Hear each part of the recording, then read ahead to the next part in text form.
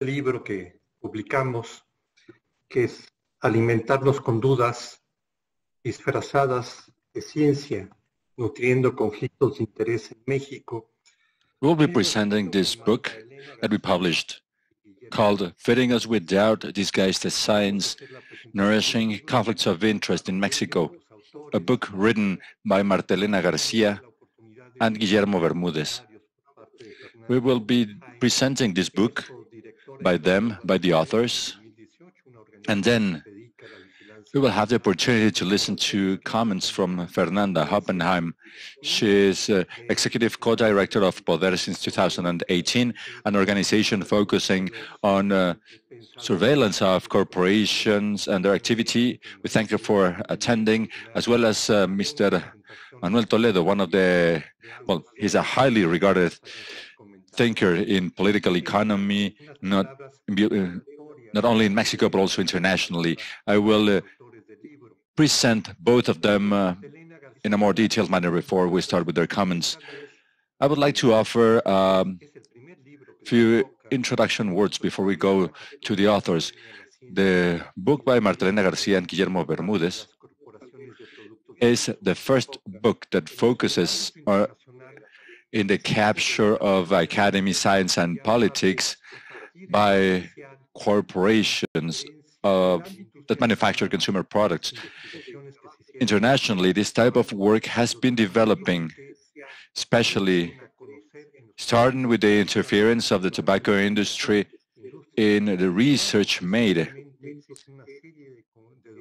by this industry and the documents that were made known in the legal proceedings that took place against this industry.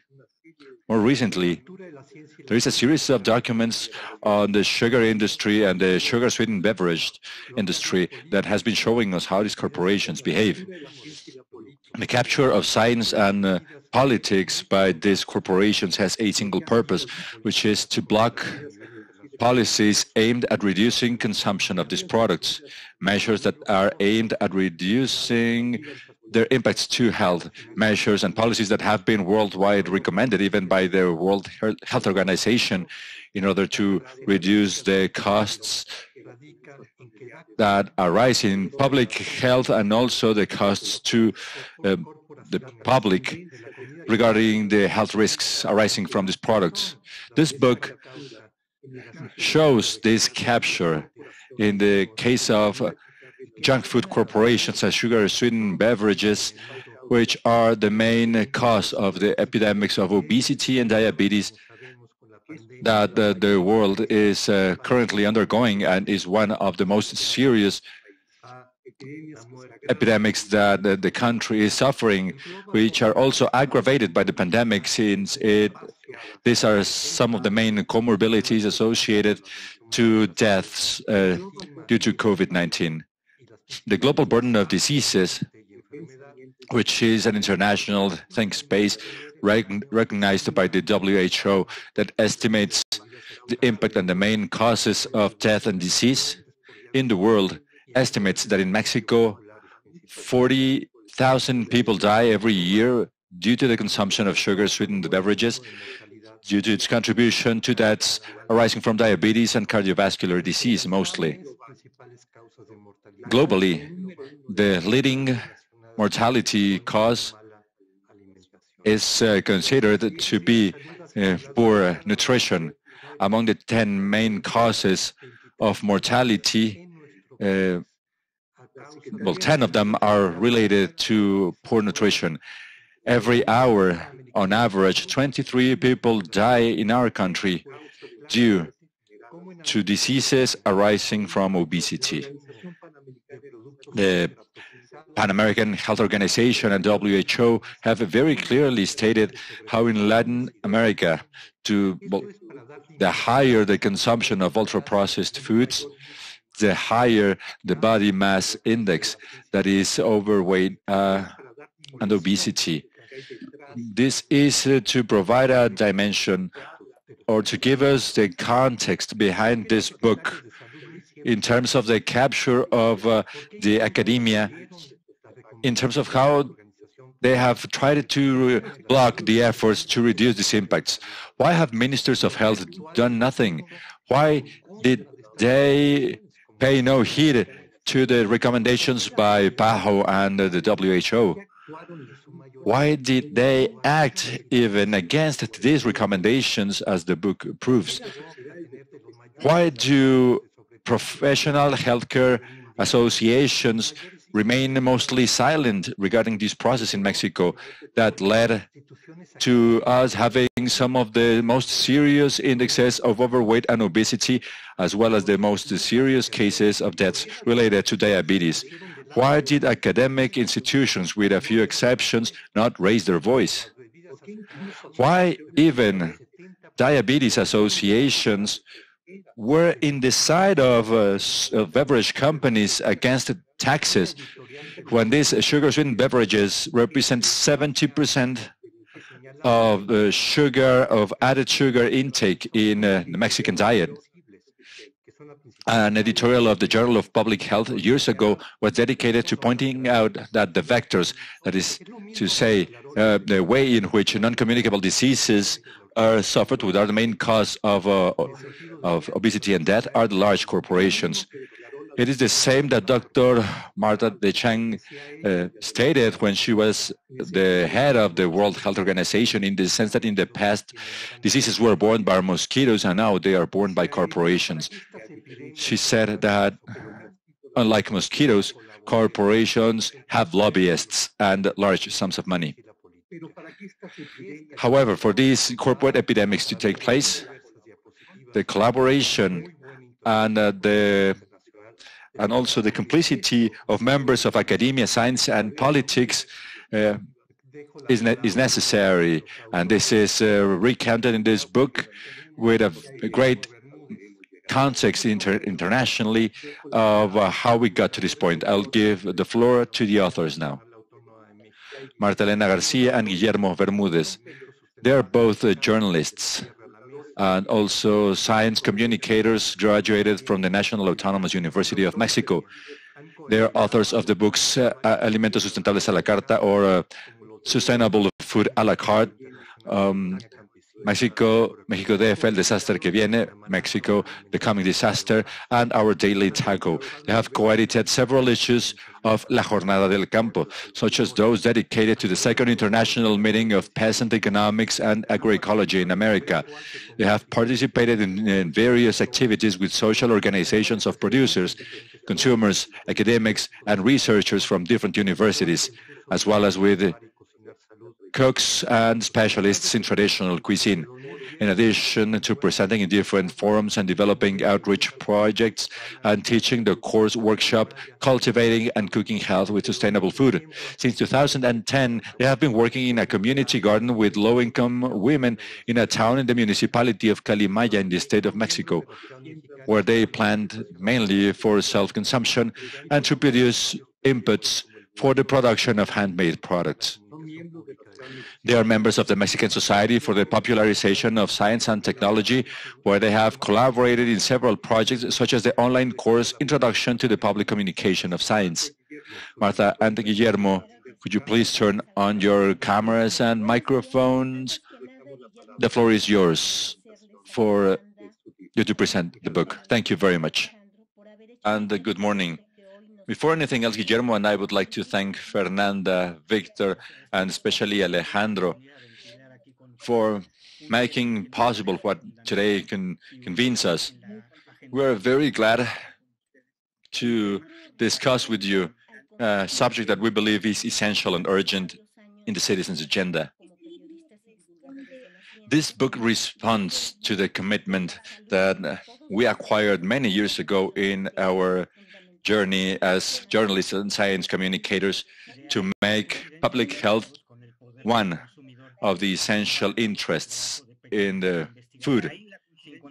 That's why we are in alignment with the goals of El Poder del Consumidor in order to carry out this uh, work of uh, investigative journalists without any interference with our liberty of expression and communication. That's why we have no conflicts of interest to declare.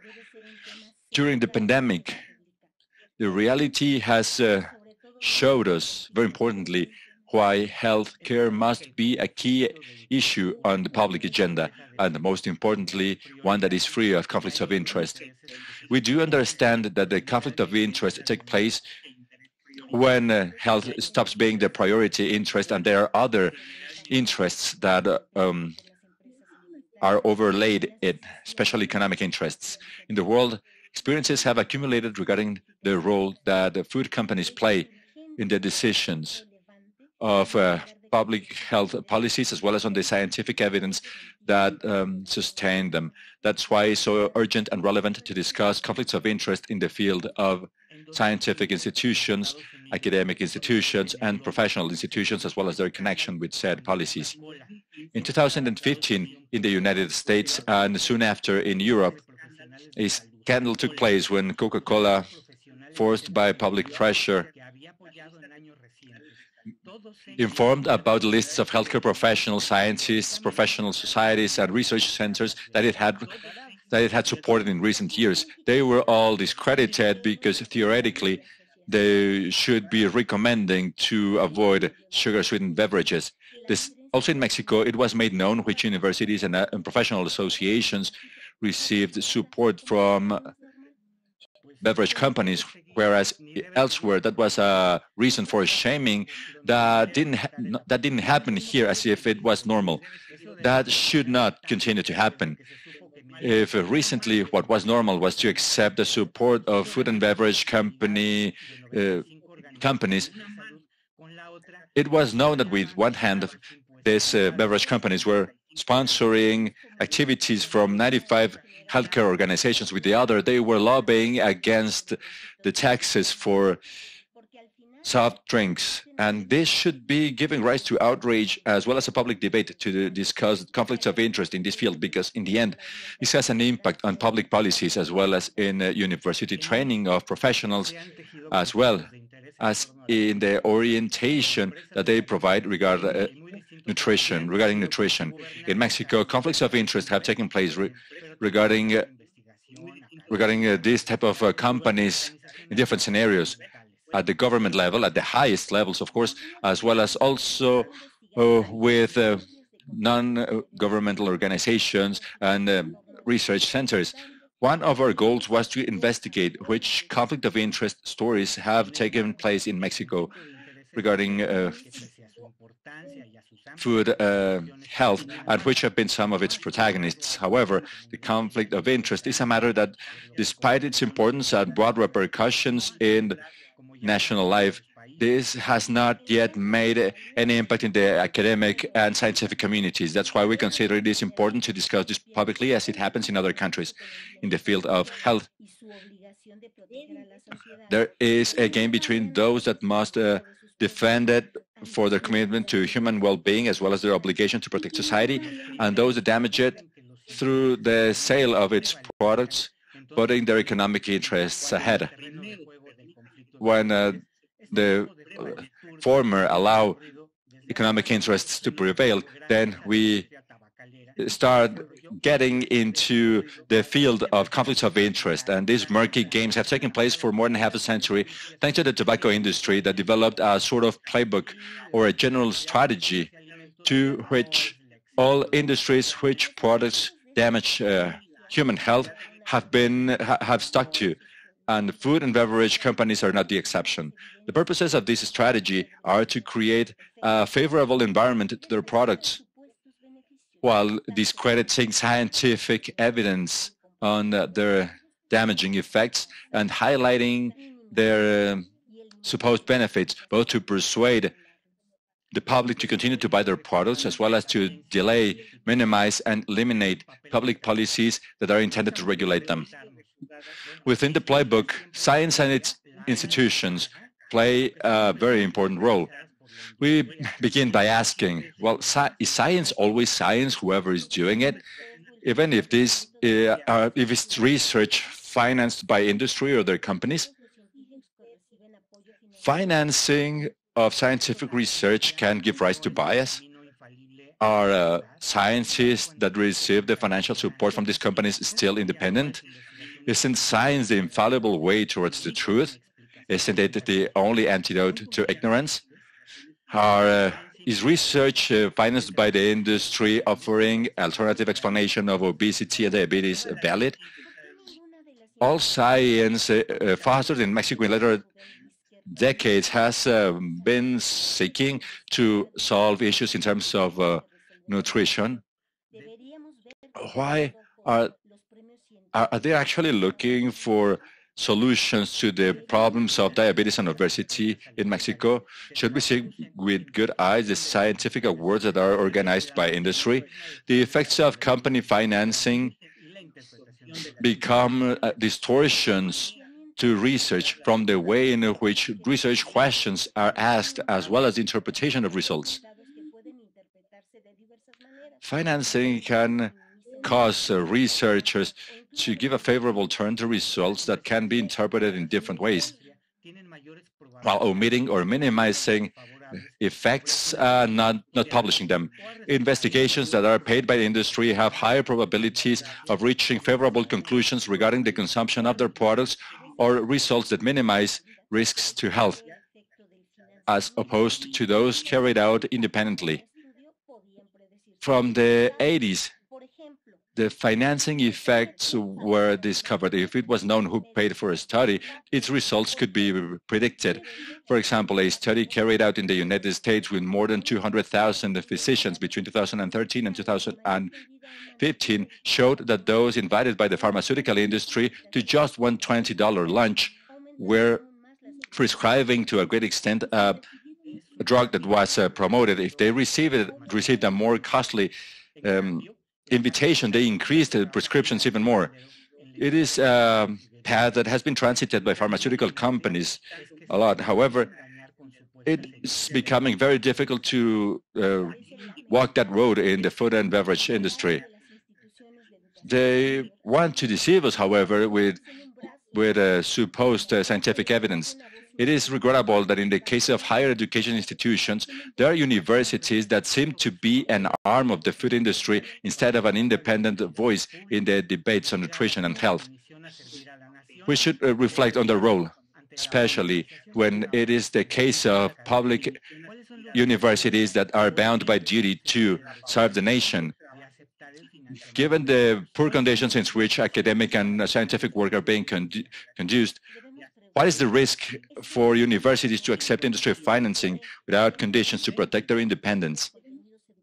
We must ask ourselves, is it ethically correct that Nestle has contributed to defining the educational companies of the first nutrition uh, undergraduate programs in Mexico? Is it normal that uh, public uh, universities in Mexico have allowed and even uh, sponsored the penetration of uh, company interests instead of being accountable to society that supports them. Can we continue to candidly think that higher education institutions can create educational bonds with manufacturers of uh, junk food without um, further consequences? Uh, regarding the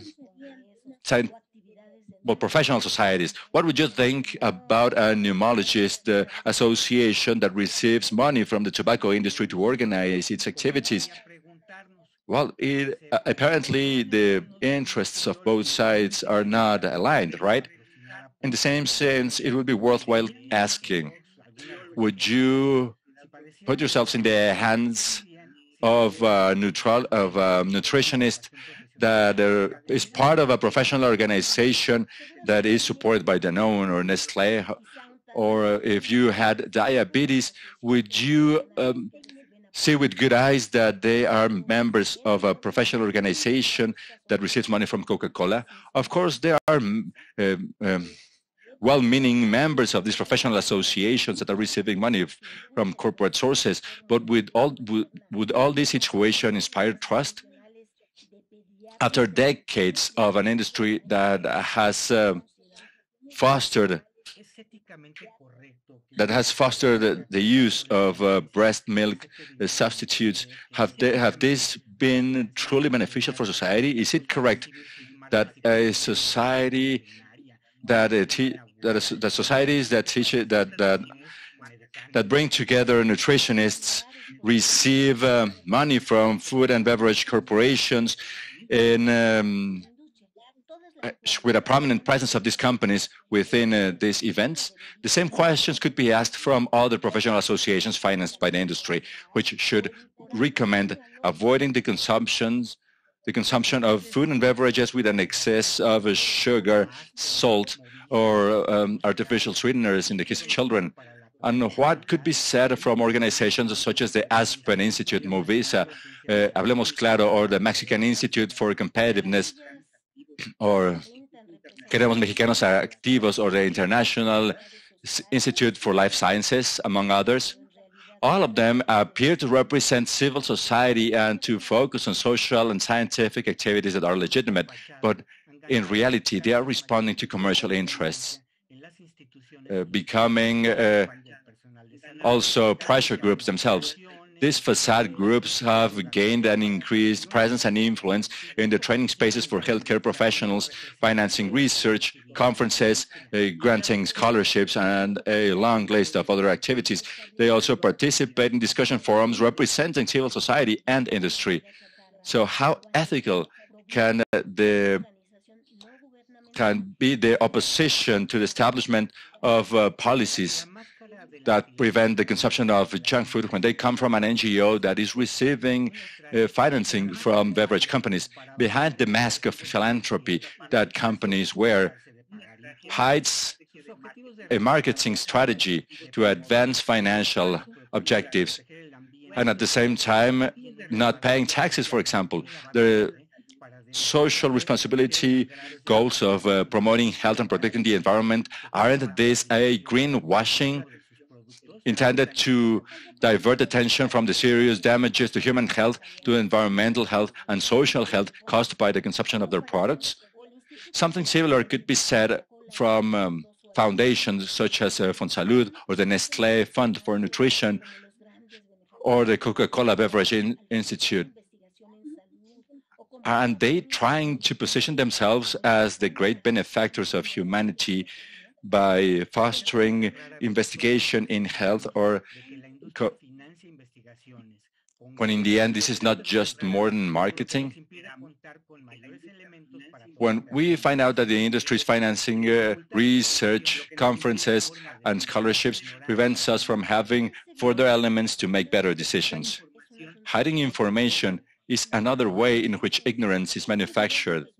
It is evident that the conflict of interest is a complex matter and that it touches very sensitive fibers. It is not always easy to judge a, situ uh, a, specific situation because the boundaries between what is ethically allowable and what is not are very diffuse. We know that debating this matter will enable researchers, academics, and healthcare professionals, as well as their organizations, alongside the citizenry, to stop looking at conflicts of interest as something that is normal, inevitable, and irrelevant, or even worse, justifiable. In this sense, the uh, further progress has been made in the pharmaceutical industry, which is very careful because it is uh, way ahead in the sense of conflicts of interest. There is a lot that could be learned and taken to the food and beverage industry that is just taking baby steps. Of course, not all scientists or healthcare professionals and civil associations are corrupt. However, it would be uh, important to start initiatives to reduce the financing they receive from industry as the first measure to reduce conflicts of interest, as well as making companies more transparent in the resources they provide. That is why it is urgent to speak honestly about this matter. Undoubtedly, many would say Without that support, then how could I investigate? How could uh, conferences take place? Others might uh, answer that in the field of uh, food health, sponsors that are less questionable could be sought.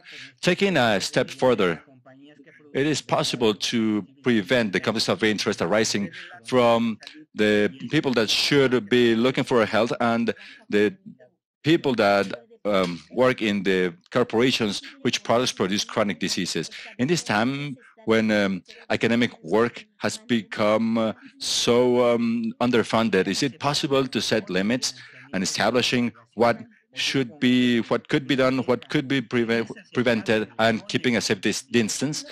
what is acceptable or not in the financing of a conference, a scholarship, or an award by the industry.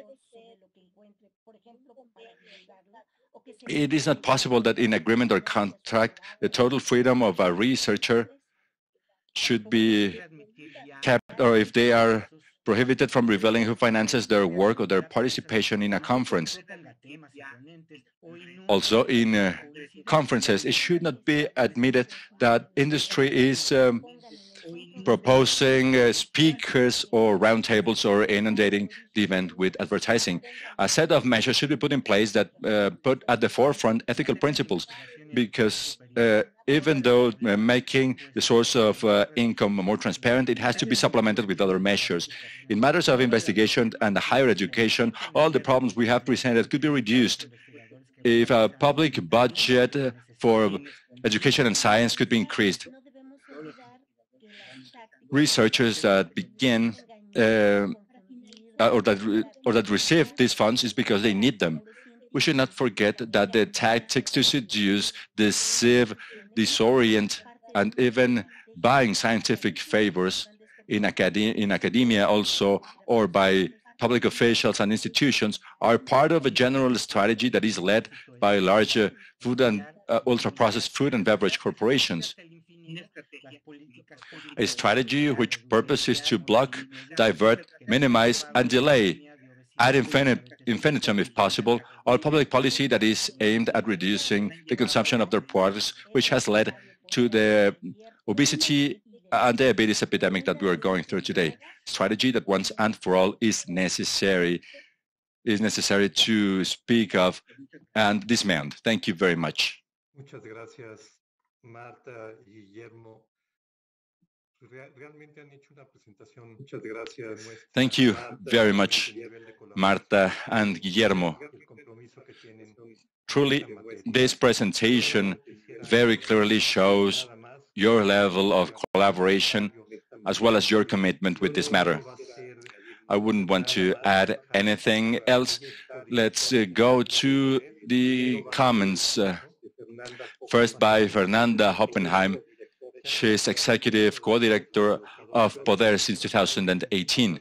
Under her leadership, Poder has become a member of the facilitating group of the Treaty Alliance, a founding member of the Feminist for Binding Treaty, part of the driving committee of the ESCRNet Corporate Accountability Working Group, and an advisor uh, to its corporate capture project. Prior to her work to her work at Poder. She was a consultant to several national and international organizations and led the Where is the Money for Women's Rights program at the Association for Women's Rights and Development. She has worked on uh, human rights matters as well as social and gender justice issues for two decades. She has been a presenter and facilitator at the UN Forum on Business and Human Rights and the regional consultations on business and human rights in Latin America, among other venues. She was part of the planning committee for the People's Forum on Business and Human Rights in the Philippines in 2018.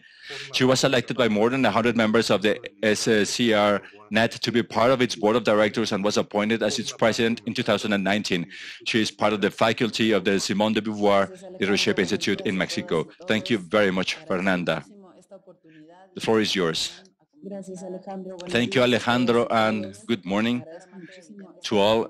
I, I appreciate this opportunity to discuss uh, this important book. I would like to begin by commending Martin Marta Guillermo for uh, great work, this great effort of uh, documenting such a, well, uh, an issue that is uh, very difficult to actually point out and prove.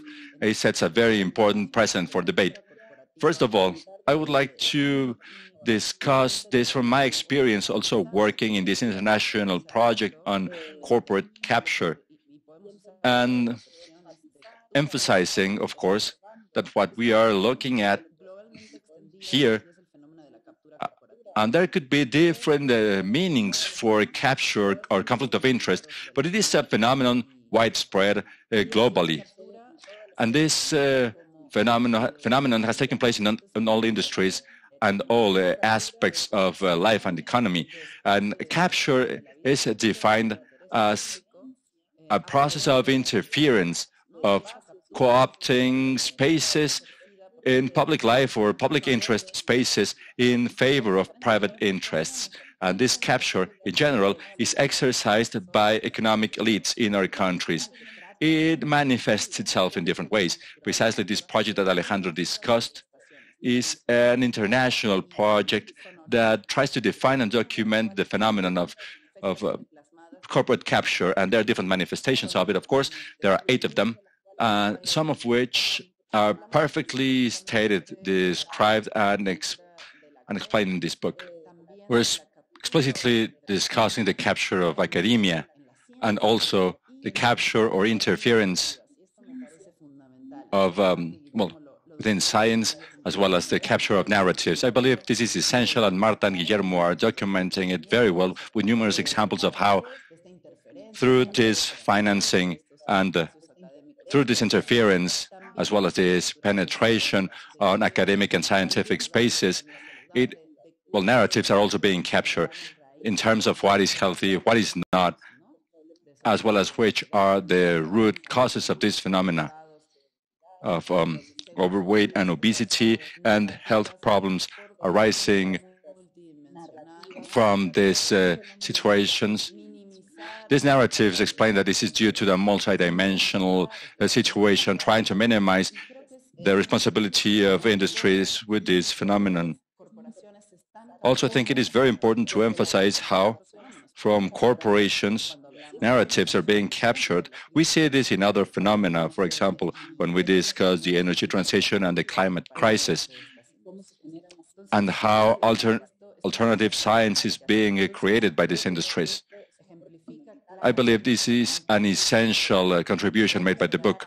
The book is clearly giving examples in concrete cases of how this phenomenon takes place, how these corporations act in the food industry and the ultra-processed food industry as well, and how this translates to academy, science, and also to public policy decisions in the book, as I said, there are clear examples of the mechanisms that are being used for these capture processes. On one hand, it is the subject of nourishing doubts and nour nourishing doubts uh, is what is being done, uh, creating this parallel science that contradicts what has been researched uh, and documented corporations do this through the creation of their own centers or their own uh, research initiatives, but also by financing highly recognized uh, research centers. So financing science at academy, of course, uh, reduces their autonomy. The authors discuss the concept of inoculating uh, research centers, and I think it's an excellent analogy what independence could be had if uh, if these organizations be, depend on this financing. It is also important to discuss the precariousness that currently exists in academia for many researchers, because I think this is not a minor issue. This penetration of capital, of private capital in scientific and academic institutions as well as institutions as well as uh, um, academia is not an isolated matter uh, that arises from that is also the product of a lack of uh, of financing and the withdrawal of the state as an authority that is responsible from regulating this and investing on science, education, and technology, which creates a void that companies uh, fill with their financing and capital. But of course, it is very difficult for somebody that is receiving funds for, for institutions, individuals, or a team of individuals that are carrying out research to maintain their autonomy. And it is not because there are bad intentions, but because they depend from this financing, it is very difficult to bite the hand that feeds you, basically. So it is a very perverse strategy by corporations creating this depends from research centers as well as research teams and um, academia. Another example or another tactic that they that Martha Guillermo described very well in the book has to do with this interference in regulation. and that this is done from different mechanisms and tactics. Corporate lobbying, of course, is very strong in these companies.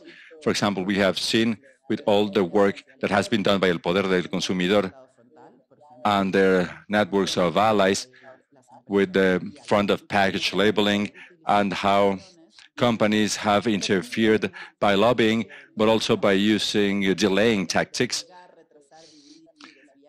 And this what has been documented by the authors to deny, uh, divert, and um, and minimize in this uh, playbook of corporate tactics, and of course creating this alternative evidence, or even a discourse that is even more subtle, saying, for example, that evidence is insufficient. So here it is also necessary to uh, shield processes in the development of public policy and the implementing thereof, as well as in the creation of new laws and regulations to prevent corporate interference.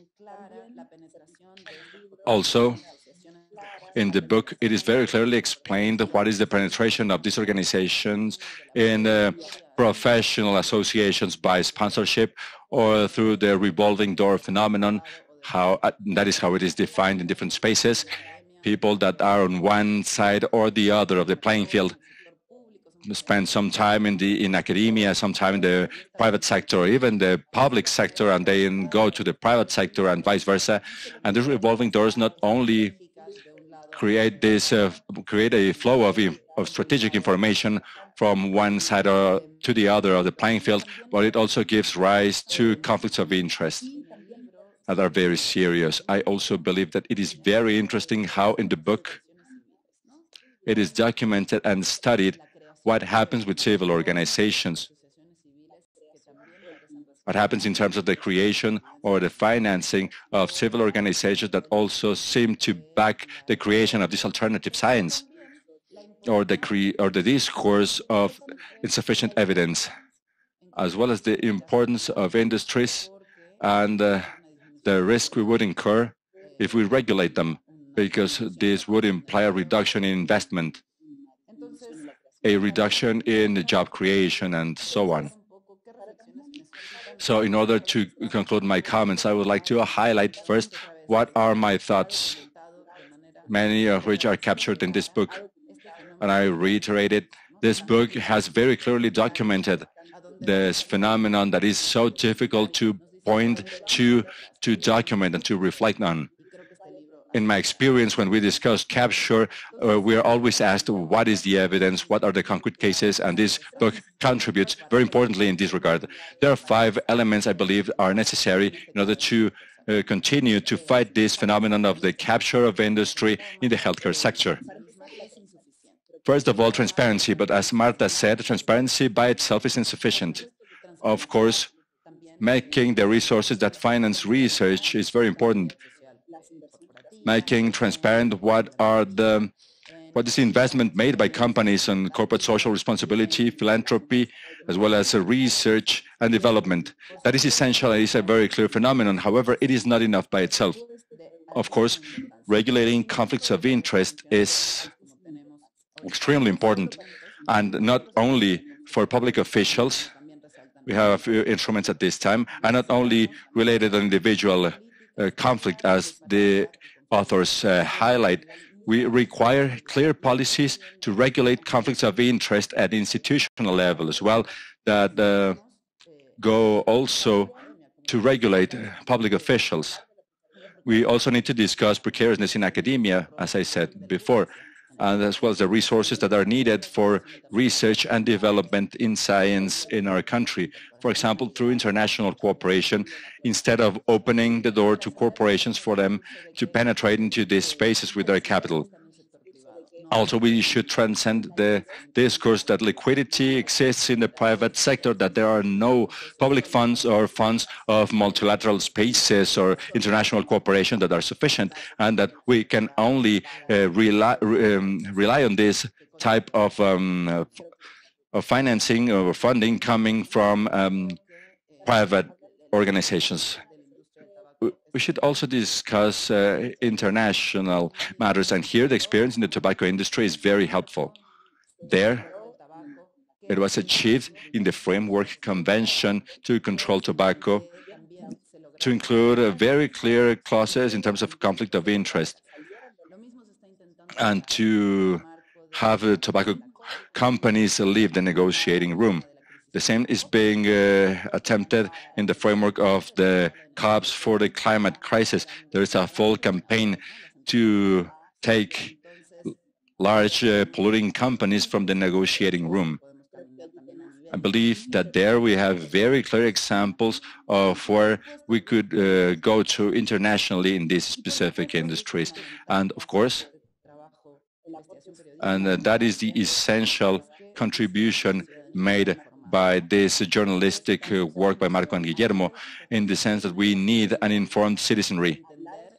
We need to discuss these matters, put them in the public agenda, and understand that this phenomenon is not harmless, is not innocent, but that it is uh, truly orchestrated and that there that there are corporate st uh, strategies and tactics behind it. I would close with that, and I thank Martha and Guillermo for their hard work as well as to El Poder del Consumidor for their support to make this happen, as well as the commitment with continuing to opening doors uh, to all of us in order to access this information, understand this phenomena, and collectively think on how to fight them. Thank you very much.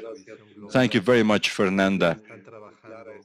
I believe that this global vision is very clear by those that are working in these international spaces to um, look at the behavior of these large corporations.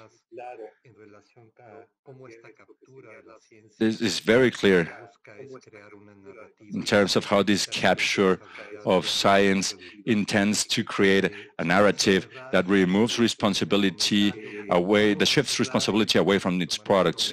We will close with the comment by Mr. Manuel Toledo, Manuel Toledo, for, for many of us, he is a teacher in, um, in environmental matters. Listen, listening to him and reading his work has been a very important, uh, has been very important for our training. He's an academic and biologist with a PhD in science from the National Autonomous University of Mexico. He has published more than 200 research and dissemination works, including 12 books and more than 40 scientific articles. He is a frequent contributor to the newspaper La Jornada. He has been awarded many different awards, the National Environmental Award in 85, the Ecological Merit Award in 1999, the Luis Elizondo Award by the Monterrey Institute of Technology in the two, year 2000, but his most important contributions are in the field of ethnoecology which are uh, contributions that have been world recognized worldwide, as well as his very important contribution to the discipline of political ecology. He is one of the better known uh, authors in this uh, field. Throughout his more than 30 years of academic work, he has developed an extraordinary research work in teaching and training in the field of environmental thought, linking uh, ecological science with society and in the interdisciplinary interpretation of rural and indigenous societies. He carried out the most important documentation regarding the productive, sustainable mm, experiences in um, rural and, and, indigenous societies. In May 2019, he was appointed Minister of Environment and Natural Resources, a position he held until August 31st, 2020. And he is inviting us through his social media to a very important course in political ecology, thinking towards the future. What should we be thinking in this uh, crisis of civilization that we're undergoing, both environmentally and in terms of health, and within this model in which corporations have become the dominant economic powers in the planet and that in many ways this economic power becomes political power. Thank you very much, Victor, for joining us today. We hear you. Your microphone is turned off, Victor. por tus palabras, este, te lo agradezco muchísimo.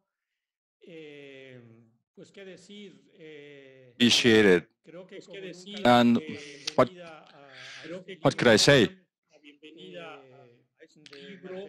We welcome this book by Martha Elena and Guillermo, with whom we have in one way or another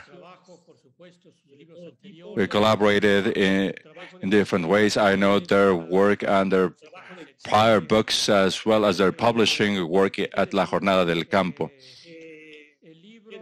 What, what else could I say? Um, the book arrives at a very timely moment. You will see why. In terms of um, political timing, we are precisely at a time where in this final stage where of how corporate uh, power is consolidating. And from my knowledge, this book uh, appears in the same line of other books we had seen before. In 2014, the book by Giancarlo Delgado on water was published, on the entire subject of water in Mexico, how it has, how it has been um, hoarded in a way by the companies themselves. Coca-Cola, Pepsi, Nestle. This uh, book was published in 2014. Then came the book by Elena Alvarez Buylla and Alma Piñeyro regarding uh, genetically modified uh, organisms, where it uh, is in oppose with the book by Francisco Bolivar Zapata, which is precisely a dissertation. And here it is very clear because this is, dissertation appears to be scientific in defense of uh, genetically modified organisms, having the backing of uh, UNAM and the Mexican Academy of Science, as well as El Colegio Nacional and so on, which should be considered. And precisely two weeks ago, a book published by Ithaca appeared, A Process to Transgenic Foods, published by Julio Munoz, a 500-page book that um, turns this issue in itself again in a critical way regarding uh, genetically modified organisms with extraordinary chapters by Julio Munoz, where he clearly analyzes the narrative by Francisco Bolivar Zapata, uh, completely dismounting it to prove that it is uh, full of fallacies. And finally, the book that we are reviewing today, but that indeed, as has been said by Alejandro and Fernanda, I believe this book takes a step ahead. It is, is a step ahead because it goes uh, to directly analyzing the strategies, the corporate art and science against the regulation, and it offers all sorts of examples. It is interesting that it begins by revealing an epidemic, the epidemic of obesity and the overweight that is connected with these uh, diseases and that was also revealed by the COVID-19 epidemic. I believe this is an excellent starting point. However, all the research work that has been carried out by Martha and Guillermo in depth, including uh, interviews to many actors and, uh, well, stakeholders in this uh, controversy. Following what Fernanda has uh, discussed, what happens is that we are witnessing the age of corporate capital globally.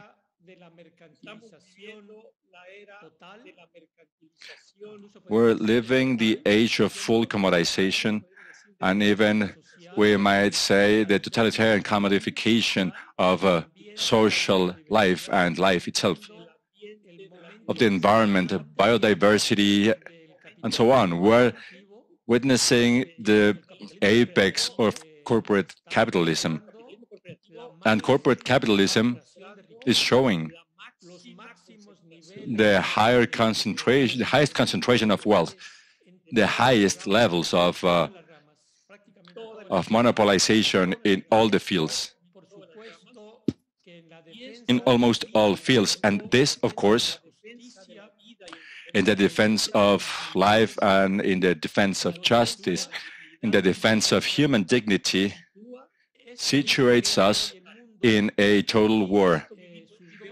This is what the world is living today. And its two main impacts are the enormous social inequality, which is uh, the highest that has ever ever taken place in humanity, and the highest economic crisis uh, rep represented by climate change. The book we are uh, reviewing is part of this all-out war between corporate capitalism and the defense of life, social life, and life itself.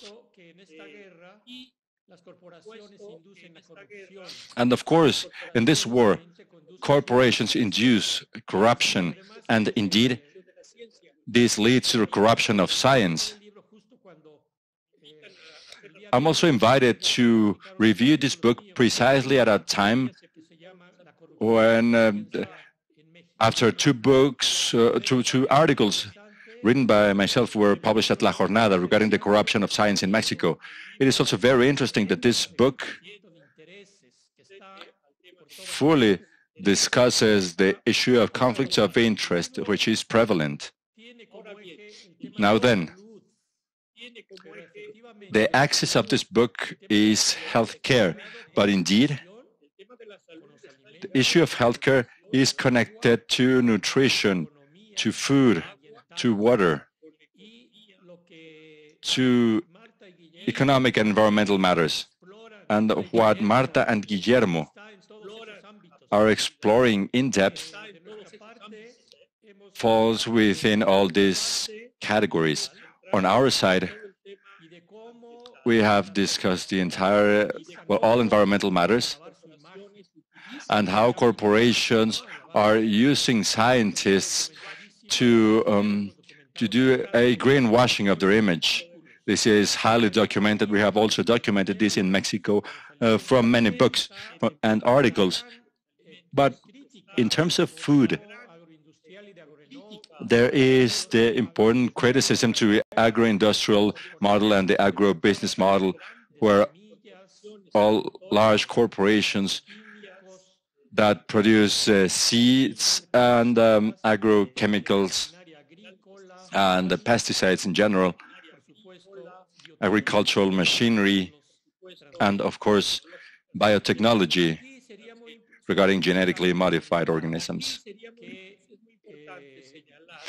It is very important to highlight that the book also appears in Mexico during a change in regime, a change in regime, and this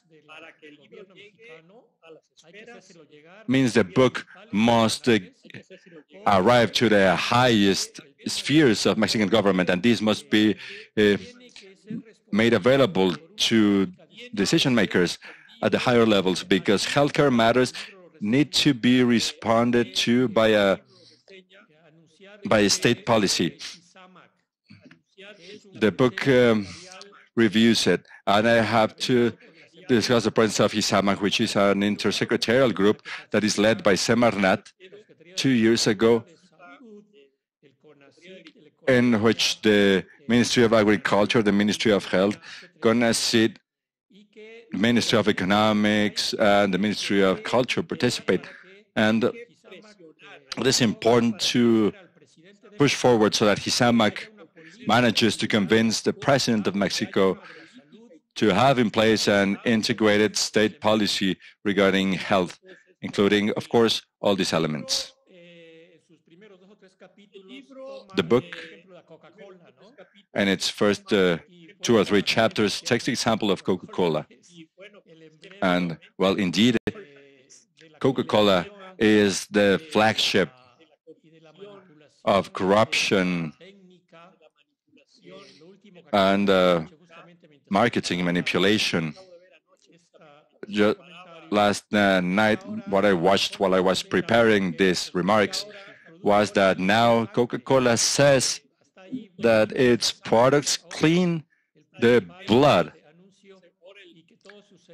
And now the main uh, ad by Coca-Cola states that all its products are healthy.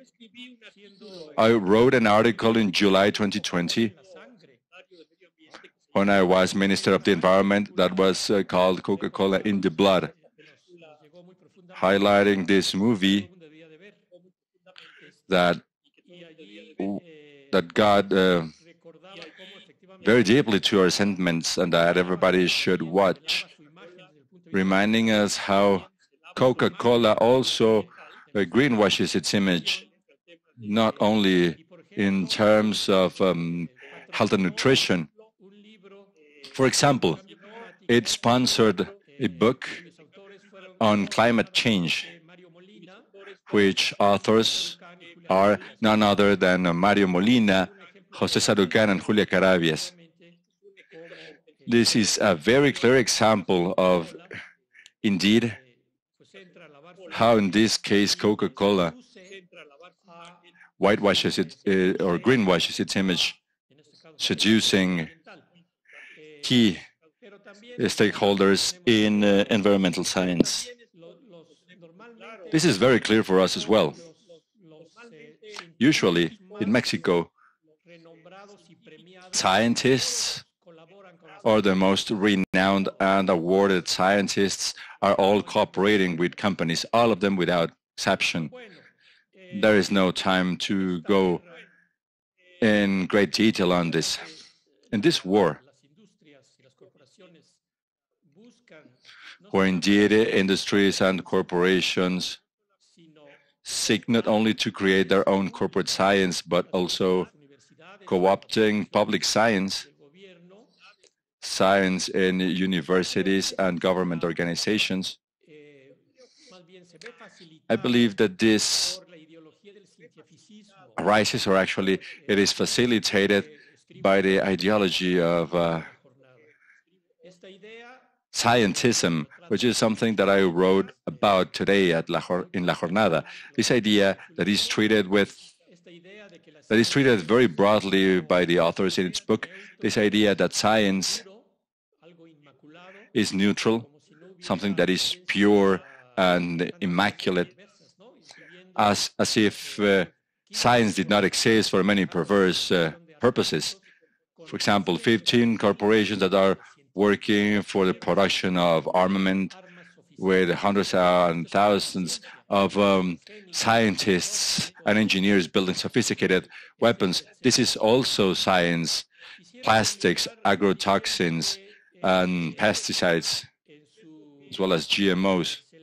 I would like to finish by saying that in their excellent revi revision uh, and well, review of these matters, the authors indeed highlight four goals, four perverse uh, goals in the justification of um, quote-unquote uh, scientific truths, which are to deny, deflect, um, deviate. And I would also add discrediting Today, we know that globally, companies that focus on the dirty work of espionage of politicians or individuals that are against um, corporate capital. This happened to me also, and it has happened to many of us, as well as to Alejandro Calvillo.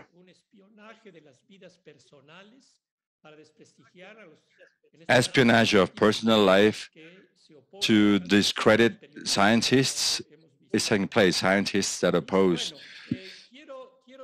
that oppose these matters. I would like to finish by saying that this book this book must be widely disseminated. We need more books that do research uh, of this sort. I'm sure that Martin Guillermo will be preparing those, but also to announce that with a set of colleagues from UNAM, we will indeed try to create an important forum to put scientific research up for debate. You are all invited to join efforts because we need to make this public, to broadly disseminate this all-out war between corporations and scientific research in this case, which is being seduced in, uh, well, at all levels. Here, the neoliberal atmosphere that has prevailed in our countries is very important and it has made somewhat glamorous to be an, a businessman or a politician, but and also being a, a businessman scientist, a business person scientist, which could be one of the most serious conflicts of interest that today exists for Mexican scientists. So we need to reveal all of this. And uh, that is why not only do I applaud the publication of this book by El Poder del Consumidor, but also but also um, propose that we disseminate it broadly and continue to present it. Congratulations, Martha Elena and Guillermo, for your work, for the amazing work you have carried out, and thank you very much for inviting me for these remarks. Thank you. There are concepts that you mentioned and that resonate strongly and that I believe explain reality. Sometimes it is necessary to find new ways to name reality in order to understand it. And when you are discussing about the totalitarian commodification, I believe it's something that we're witnessing in all levels. And yes, we are at the highest levels of wealth accumulation and monopolization. And uh, well, let us go to the Q&A session for our authors and uh, guests, speakers. You can um, send us questions through Facebook as um, well as through the Zoom chat box. I would like to hear now these questions, and for that I would ask the authors and our uh, commenters to turn on their cameras in order to provide answers. One of the questions read,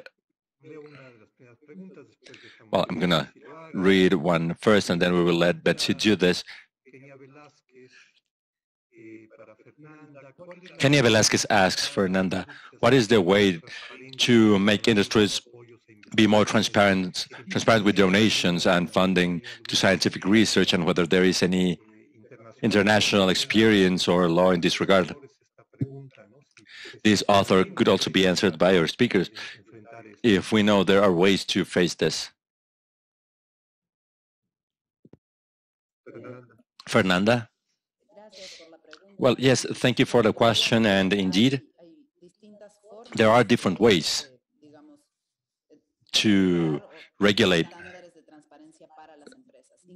standards of transparency for companies, including this. Something that has been importantly debated in the past 10 years is that progress has been made in the standards for uh, financial information disclosure by companies in terms of their operations, but not enough enough progress has been made in transparency or disclosure standards, which fall in the category of uh, philanthropy or social responsibility or uh, in initiatives to support um, environmental matters. It is there where instruments exist. For example, the guiding principles of the United Nations for companies and human rights, which are the ones are most I'm most familiar with, require or somehow foster and promote that transparency standards exist, standards that are as high as those that regulate the disclosure of financial and tax information by companies, by corporations of, uh, from any industry. I believe that there the key is to go from voluntary information that is voluntarily disclosed to what is required. And uh, the regulatory frameworks should be strengthened as well as transparency. Well, but for the time being, we are moving in the field of what is still voluntary. Well, yes, what I would add, and I do not know if uh, Victor, Martha, and Guillermo would like to add anything, important scientific journals that are highly regarded throughout the world, most of them require the require information regarding who funded research. In some cases, research publication has been denied in case of uh, obvious conflicts of interest. It is possible that if research is paid by a large uh, publishing company, then there shouldn't there would be a conflict of interest.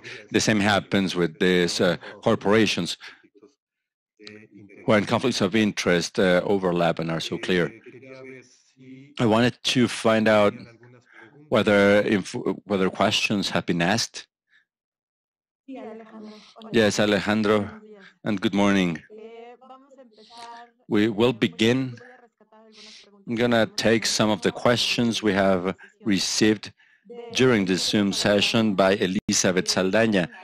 She asks, which uh, organizations or healthcare organizations do you recommend should be followed in order to look at research or any actions that go again that, that are independent of uh, the trade interests you have mentioned? I'm going to ask a second question and then open it up to the panel. David Trujillo from Ecuador, that is also joining us in the Zoom uh, room, asks, what do you think about the actions of ethics or bioethics committee or the review by journals before the publication of this uh, of this research that is being funded by corporations? We could begin with this and then continue with other questions. Well, I could just uh, start discussing the first question. In the field of nutrition and health, the reference in our country, an institution that lacks conflicts of interest, is the National Public Health Institute that for a long time has been operating in sort of eliminating conflicts of interest when Dr. Rivera was head of the Latin American Society of Nutrition. He set forth alongside a group of experts from this society guiding principles to prevent conflicts of interest. We attended a conference by the by this organization before Dr. Rivera became the head of it. And what Guillermo said, exactly what happened, Guillermo Bermudez, it was like a fair, like a trade fair of Coca-Cola and Nestle products and products from all these type of companies. And obviously, what this meant for the Latin American Society of Nutrition, a big effort. A digital uh, conference will take place in terms of how to do this without these resources. And they have managed to do it. It's the second large conference by the Latin American Society of Nutrition where this type of support is not accepted because it might represent a conflict of interest. And where evidently, uh, when uh, funds are provided for these conferences, which in the past took place in tourist destinations, perhaps with, uh, where there were sea and beaches and so on. They uh, set forth that other fora and other speakers had to be put there by the industry. I do not know if Fernanda, Martha, and or Guillermo would like to say anything. Well, yes, regarding the ethics committees uh, from scientific journals, it would be worthwhile to state initially that it is very important that in all publications that are serious, there are review processes. Regarding the taxing of uh, soft drinks, that is a paradigm case because the research that was carried out at the National Healthcare Institute was published at a journal that was peer-reviewed. And so that gave it a very different level to that of other pieces of research that were conducted in order to question the effectiveness of the tax to soft drinks that were not published in any magazine because initially the committee did not accept an article of that sort with such obvious conflict of interest. However, it would be worthwhile highlighting that corporations are quite perverse and that even there are committees, committees from specialized journals that um, can be easily co-opted. So it is a very complicated matter following in the tracks of the situation. It is quite difficult difficult to catch, so to speak.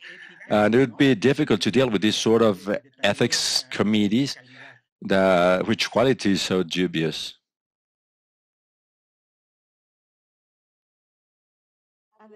Go ahead, Victor, please. Yes, the issue of scientific journals. Well, in the case of transgenics, we've had very um, embarrassing situations such is the case of an article by Dr. Chapela at the University of Berkeley in California,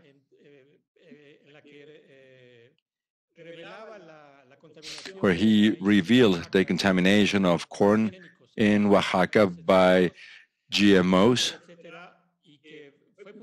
and which was published in Nature magazine, if I am not mistaken, which is one of the two most prestigious journals in the world. And then afterwards, it was questioned. Uh, the article was challenged and uh, taken down. It was highly controversial. And uh, there, scientists supporting transgenics came into place. Another case was that of Dr. Séralini with the rats that were given glyphosate and uh, developed scientific, uh, well, cancerous tumors. There was important controversy and um, discussion ensued in Europe for and against. And indeed, I do know that the main uh, medicine journal, which I believe is Lancet, the, the publisher has accepted that corruption problems have existed in editorial committees. So imagine the financial power of a corporation. They can do whatever they they want. And well, that is my, my opinion regarding journals. Thank you uh, very much, uh, Victor. Would, any, would, anybody care to participate in this uh, second round of question? If questions. If that is not the case, I will read the next questions.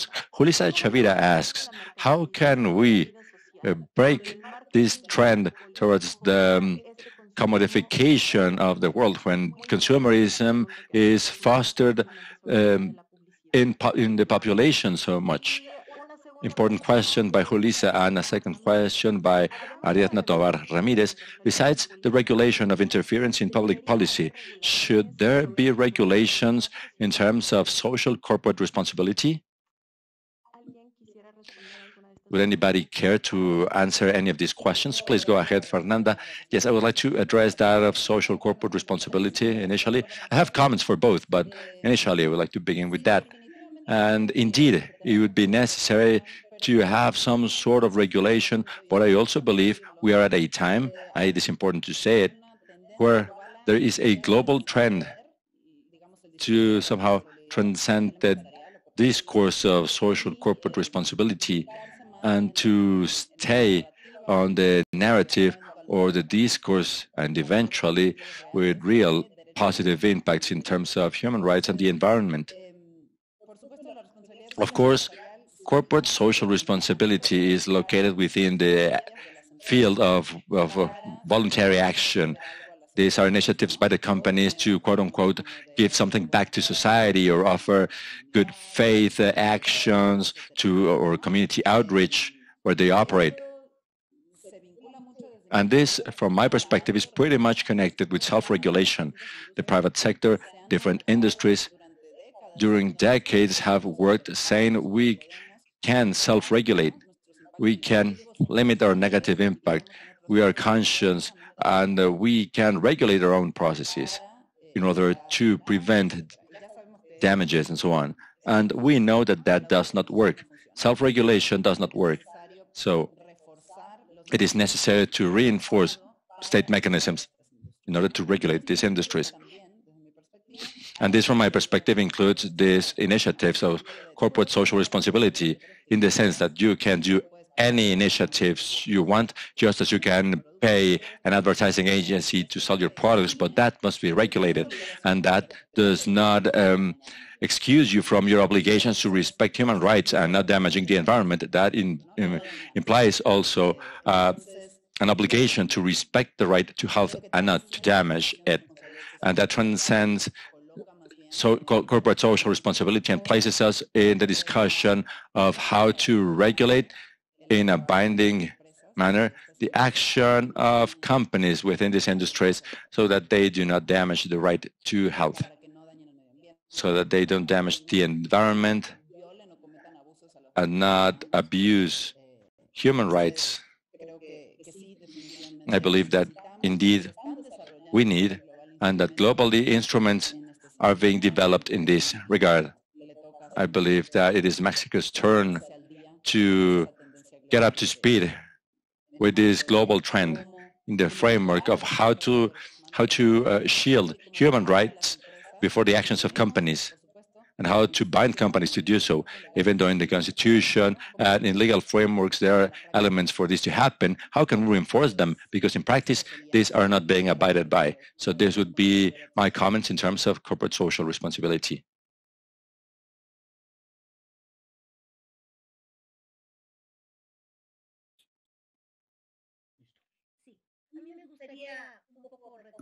I would like to draw from this how to break this commodification. And it is about having better regulations that are more stringent in the field of advertising on the communication of messages, especially those that are oriented to children and parents, or in terms of ultra-processed foods on one side and on the other, I believe it is essential to start unmasking this false philanthropy for example, there are ads that state now Coca-Cola is investing in giving water to the communities. But yes, the water that Coca-Cola has extracted from communities. So unmasking this perverse way of making us believe that they are truly investing in our health or in the environment and so on. And um, something that is also very important that Victor mentioned and that we address somehow in the book is the role of GISAMAC. Yeah, yes, we definitely need to put pressure upon the current administration so that they move in a faster and more efficient way to to start uh, furthering the regulation of junk foods because that matter is, uh, has really grown stagnant We've moved forward, but so far we do not know what is happening with the campaign to educate the consumers so that they know, for example, what this front labeling is truly about. But at the same time, it is necessary to regulate advertising aimed at children. In the past, companies uh, pretended to self-regulate, and Rocio Rodriguez, who we remember dearly, who is no longer with us, said that this code that companies imposed to self-regulate, well, people thought it was ineffective. And she said, yes, it does work. It does work to show that it does not work. And of course, that's the case. And what happens with the tax, with the tax to soft drinks? Somehow it got stagnated and uh, it was not possible to achieve the goals that were initially proposed. Please go ahead, Victor. Yes, thank you. Just adding to what was just said, the issue of environmental and social responsibility is indeed connected with the respect of human rights and the rights of nature, which would be these two sets of rights. And of course, corporations today are the main culprits in the violation of both sets of rights. What is needed in Mexico indeed is a state policy. A state, state policy that can take healthcare as um, as a pillar and then branching outwards to all other uh, matters, including education. And our role is essentially to inform, to provide knowledge, to educate. And I loved the Martha's concept of unmasking. Indeed, unmasking all this flood, all this storm of face information that on a daily basis we're being bombarded with.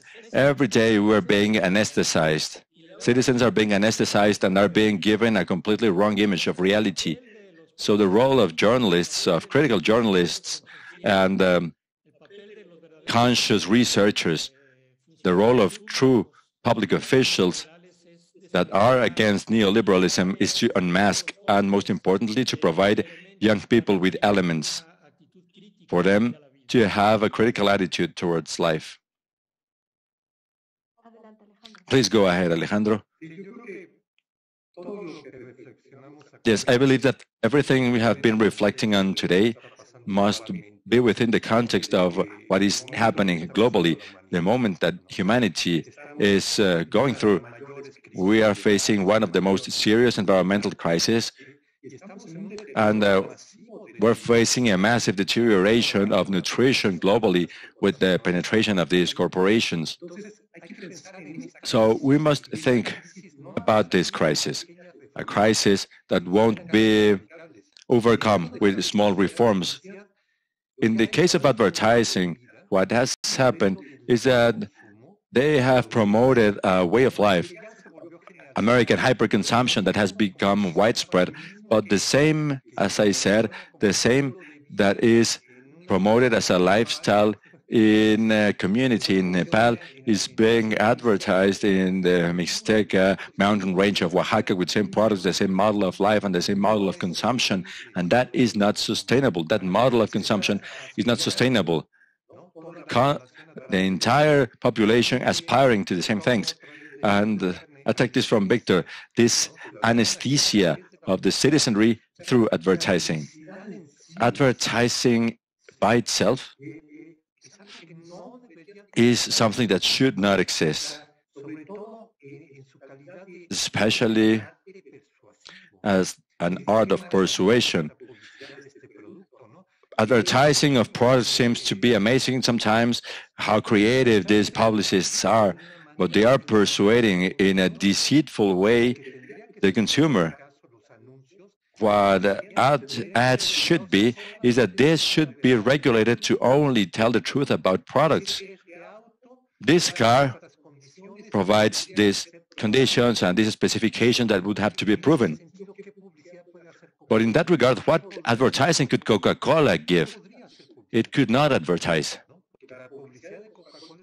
Because Coca-Cola's advertising is that it will make you happy with an injection of sugar that will lead to a discharge of dopamine and it will of course provide you with energy but then it will provide you it will give you diabetes and affect your immune system.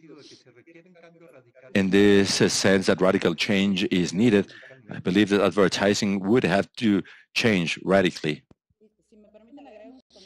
If you'll allow me to add a very quick comment in the sense of how to fight consumerism or how to challenge this model, I think it is also very important to recognize and to provide much more visibility to what we could learn from grassroots social movements that are living and are thinking and putting in practice different ways of living. And then environmentalist movements, indigenous movements, Afro and feminist movements, in those, there is a lot we could draw from.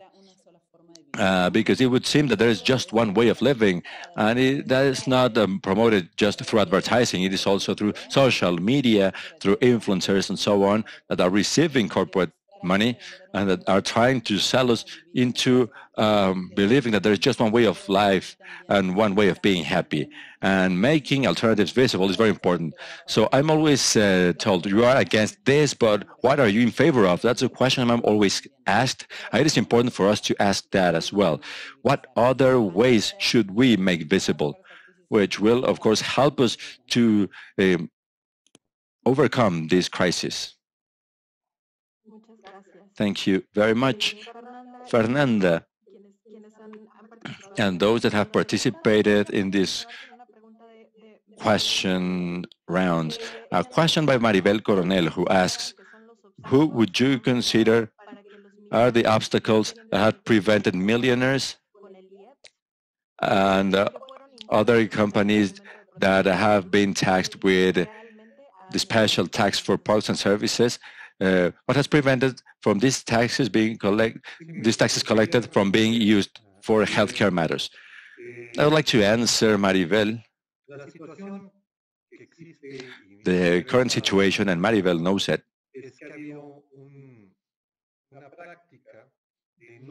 is that a, prax a practice of not labeling resources or, or of not uh, earmarking funds for specific purposes. I remember certain meetings at the Ministry of Finance where they said, uh, what will happen to us is what happens in California because there most uh, most um, taxes are earmarked for specific purposes. And let's say that an emergency happens and we won't have funds to respond to them because everything is earmarked. And that is what the Minister of Finance has said but we need to reverse it the healthcare sector is overcome before the pandemic. Dialysis required by hundreds of thousands of patients in Mexico was no longer being covered by the healthcare system. It was said that the resources from the popular insurance would be necessary for that, making it devoid of resources. So the point is that that we need to earmark funds. Uh, the, the moment that these are earmarked and transparent, the population will support it.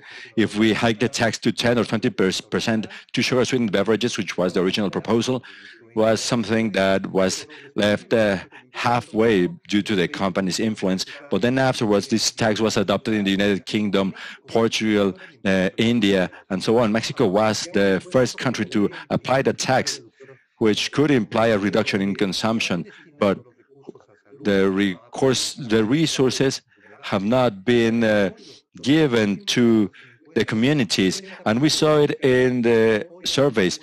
70% of Mexicans would support taxes if these are transparent and if these go to vulnerable communities or if they go to healthcare. That is a great opportunity that has not yet been taken advantage of. tobacco is uh, giving rise to 70,000 deaths a year that's due to alcohol and alcohol damages. It shows that there is no single policy, for example, uh, for alcohol. And we must remember that ministers of health came from companies that were involved in the alcohol trade in our country and that had connections with the president of the republic and all politicians. So those are other stories that would have to be told regarding these revolving doors. So there is a lot to do in the case of these trade determinants of health, which I would say are the uh, trade determinants of disease. They should be charged taxes and all these taxes to junk food, uh, cigarettes, and um, alcohol would need to be earmarked to fund prevention and healthcare policies because what Peña, Peña Nieto said, President Peña Nieto, was, uh, well, there are these existing programs, but those programs existed even before the tax. So the taxes apparently were being used for the same projects that already existed and that already had assigned funding. Thank you very much, Alejandro. I will the following questions are connected with regulation and uh, legislation for Mexico. Lisbeth Diaz Trejo is uh, asking which mechanisms in the Mexican state do you, do you consider are the most important to strengthen in order to protect human rights above uh, economic interest?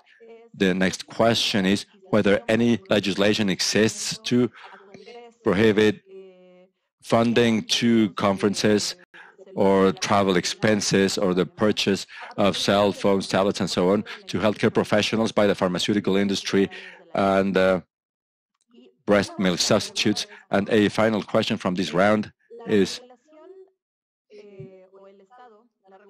regulation by the state should is in the is is operating under corporate capitalism and which would be the way to prevent health effects by the consumption of this type of products that damage um, health. Would anybody care to um, respond?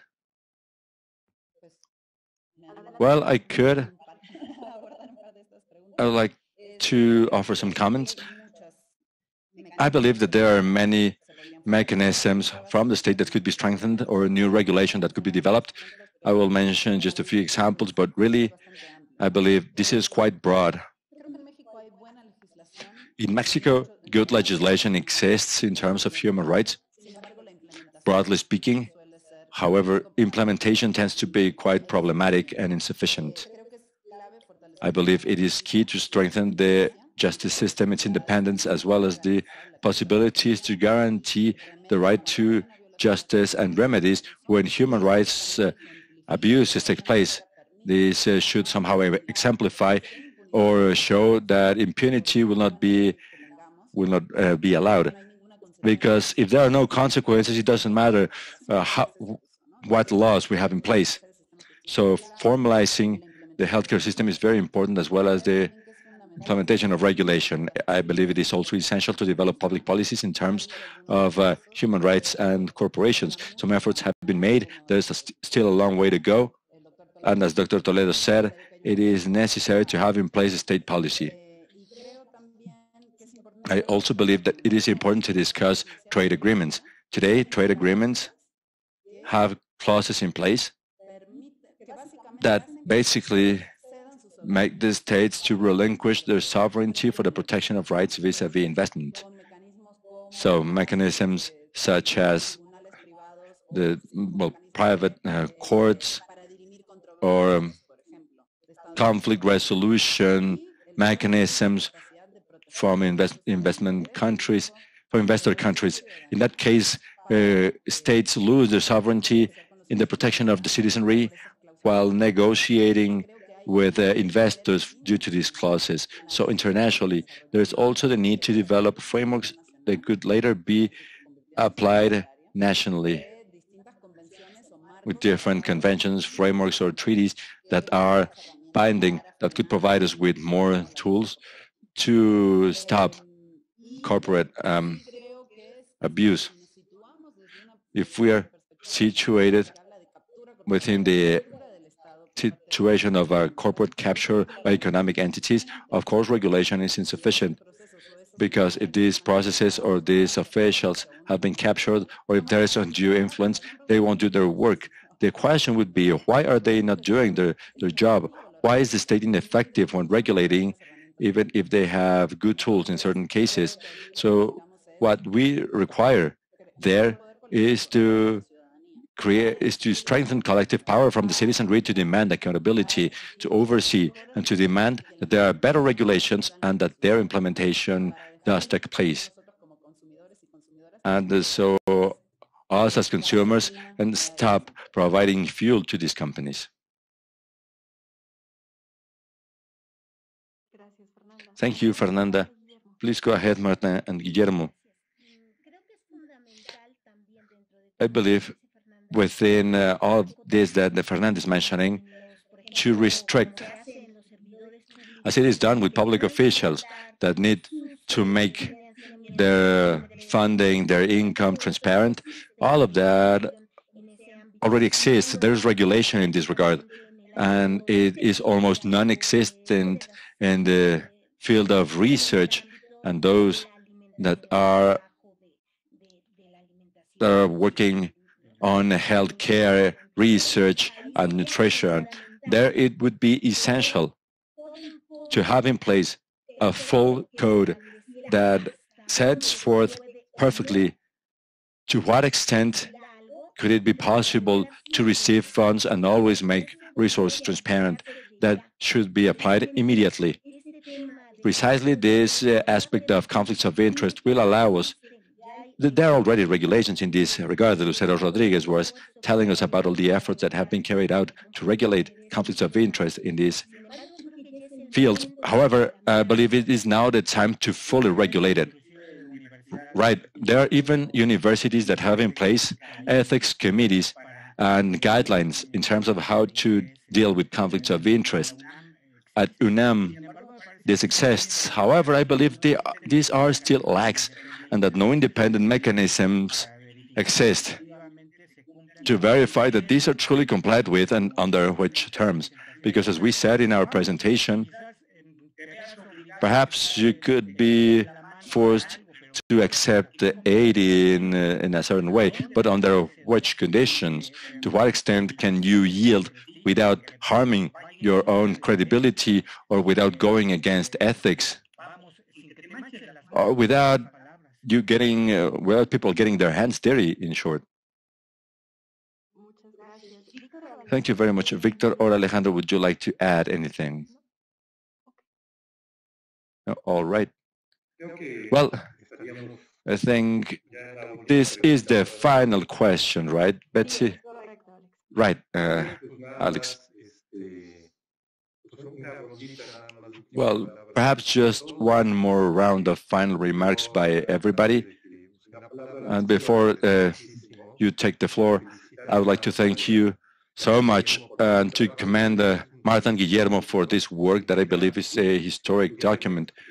Whomever would like to study in the future the epidemics of obesity and diabetes and understanding why uh, actions were not taken, why ministers of health created organ organizations alongside industry uh, that came from other organizations that were paid for by industry, people that used the revolving doors from the in going from the tobacco industry to the public sector, understanding all these uh, uh, conflicts of interest and so on, would have to read Martha and Guillermo's book and uh, hopefully this will make decision makers think and become important information for civil society that could be helpful for us to continue putting pressure to prevent this from happening again. So thanks to Fernando and Victor, and I'll give them the floor.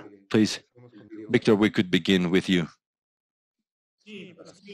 Well, yes, I would just like to say that after everything we have said and what we have been discussing together, I believe that this book indeed contributes with information and knowledge, with debate, to reduce the dose of anesthesia, anesthesia which we are constantly a prey of. And bringing down this anesthesia will allow citizens, human beings, and families to be made uh, aware of these social environmental environmental matters and uh, for them to adopt, as Alejandro said, other lifestyles. Because there's the world of regulation and the role of the state and advertising and so on. And a different thing is what we do as human beings. So other lifestyles that could go against all these impositions that are placed upon us and which will allow for this empowerment of citizens, social empowerment, which uh, from my perspective is the only thing that has the potential of transforming the world. And thank you again for inviting me. Thank you very much, Victor. Now, Fernanda. Well, this reading was very interesting. For a long time, well, I hadn't read a publication of this sort so quickly.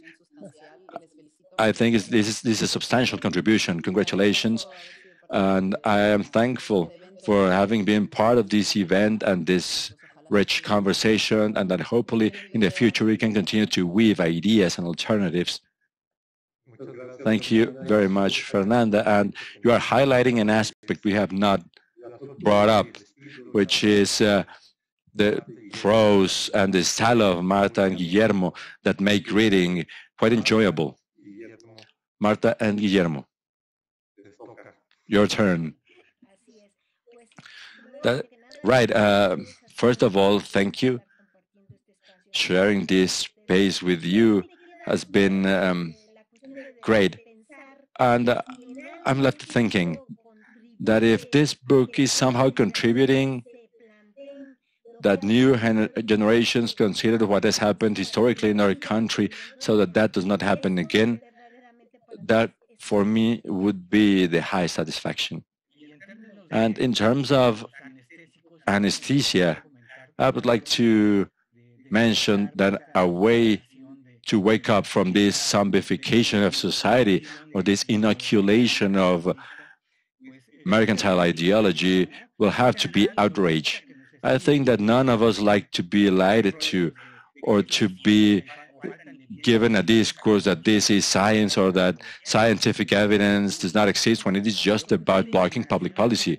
I believe that this indignation must be collective because I believe we are all fed up with being lied to, with so many fake news, and that now, and for us to now discover that fake science also exists, please, there must be consequences. There must be major consequences after the citizens are empowered so that we can um, have an effect on public policy and that this to have an effect on science matters and for us to stop considering people of science as people that are beyond reproach and that not even the most uh, well not even the biggest funding could affect their their objectivity. We need to look at the sources of this scientific information and dig deeper.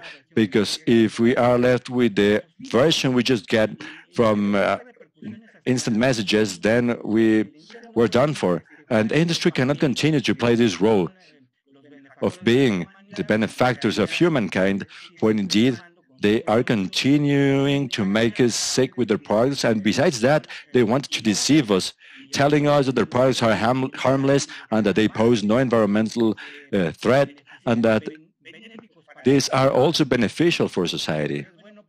So, well, thank you very much for joining us. Thank you, Martha, Guillermo, Fernanda, and Victor. And thanks to the audience that has followed us through different platforms. This will be recorded and uploaded to social media in case you wanted to share it afterwards with other people that could not join us today. Thank you very much.